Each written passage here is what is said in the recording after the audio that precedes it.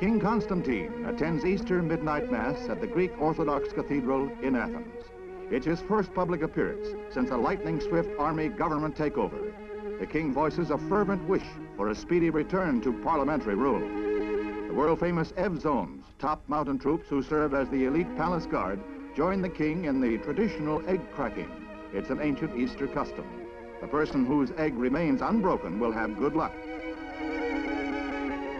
Military junta announces a ban on miniskirts and long hair, orders compulsory church attendance, and expresses doubt about Greece's future parliament.